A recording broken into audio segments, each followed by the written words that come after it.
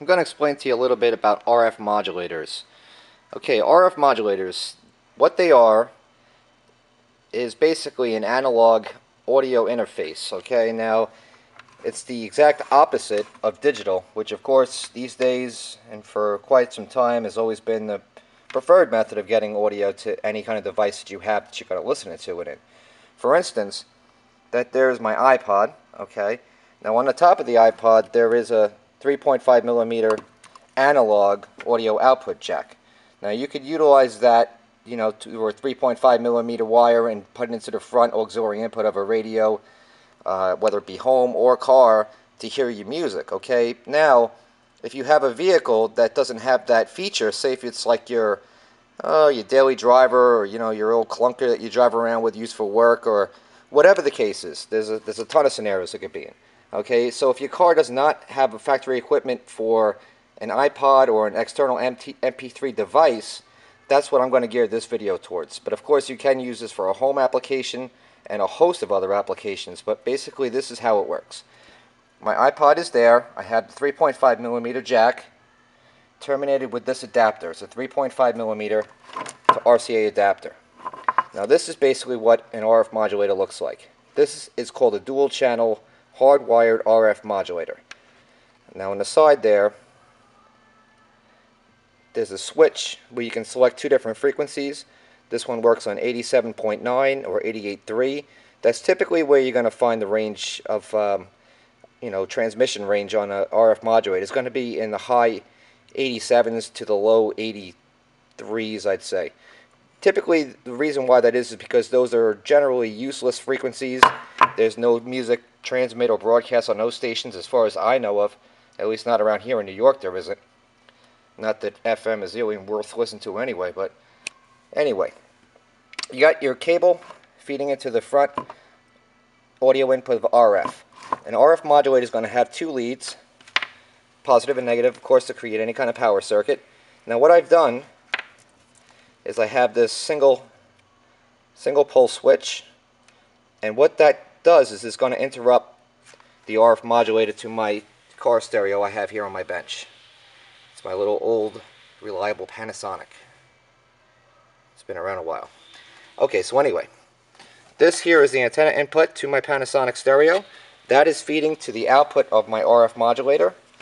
There's also another one right here which is the audio input. This is going to come from the antenna in your car. Of course, I'm using this on a tension bend, so I have no business connecting it. But I actually did go upstairs and grab the antenna. So I hope you people appreciate it. I had to hold myself up there to go get that. But that's what that's for. We're not using it. So let me show you how this works. Right now my radio is tuned to 102.3. Yeah, baby. Okay. Now my switch is in the off position. Now watch, I'm going to turn it on. I don't know if you could tell, but the music is starting to sound bad. Okay. Now if it's off, and I tune my stations, it's going to tune and look for every station that there could be. If I take this switch, turn it on, now I start searching for frequencies. It's hard to see, I'm sorry with this camera. You see that? It automatically stopped at 87.9. So if I feed my iPod, hit play, now I'm listening to my sound.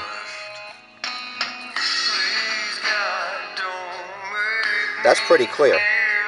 That's the difference between a wireless RF modulator that we're using here and a, and a wired. Wired and wireless, big difference with a wireless, I mean, you can get all kinds of static, you can get bad transmission range, a host of problems. It can be very frustrating. You just want to take those things and throw them out the window. I've had so many bad experiences with those. But if you're going to try to do the job, try to do it halfway decent, you know, spend at least 20 bucks for crying out loud. Get yourself the RF modulator. Cable like this, we sell for like $2.50, so, you know, I think it's pretty affordable. And RF is 20, so you got about 25 bucks a switch like this will run you a buck or two. So you're looking at about 30 bucks and maybe a half an hour of your time. And that's pretty good, you know. I mean, you don't have to be all cheap about it like the switch that I'm using here. It's trying to kind of crappy looking switch, you can get yourself a flush rocker switch or something a little bit nicer. But then again, if it's just your old, you know, whatever kind of car, throw this under the dash and who's going to really care. But this is a great economical way to use an RF modulator. I've had a lot of good experiences using them. And that's really all there is to it. RFs are not that complicated. And they're underrated. Even in today's world, you know, some of these cars and stuff that comes out, you would think that they come with this iPod integration, but some of them just don't. And when they don't, you can do something like this, pick it up, and make your problems go away. Sounds good to me. And I got a couple others that I brought. They all look pretty much the same. This is a ProVision, single channel. Same kind of thing, two, two frequency settings. Ground loop isolator built in, which is good, so it gets rid of alternator whine if you have that problem.